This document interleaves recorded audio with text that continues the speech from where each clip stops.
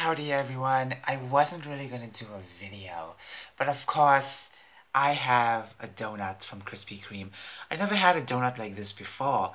Now, this donut in particular is a bit different. I think that's caramel. I'm not really a big fan of caramel. You know, it's chocolate. Uh, one thing I would say is I really like Krispy Kreme donuts because they are well made, so I really appreciate that. Now we have a little chocolate on top. I have no idea what's inside this chocolate. I have no clue. Okay, I have no clue. So we're just gonna have a little taste test. Okay? Okay, so as you can see, it's, you know, you know what, the caramel is okay.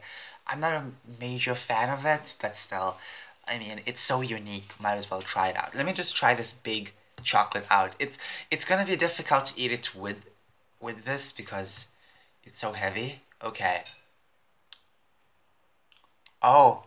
Oh.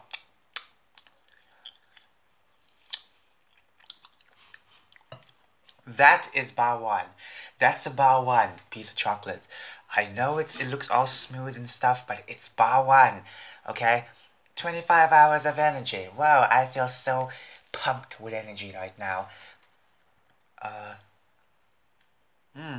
Oh, crap. Hmm.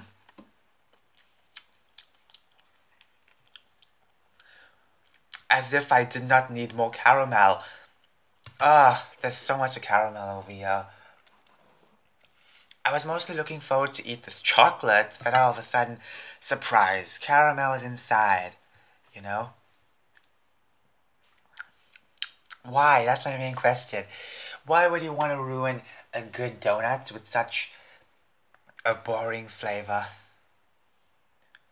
Okay, my hands are all sticky.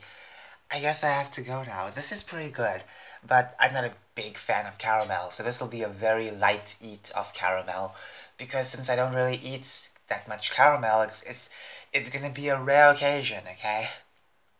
We do have another donut, it's more chocolatey. I should try that next.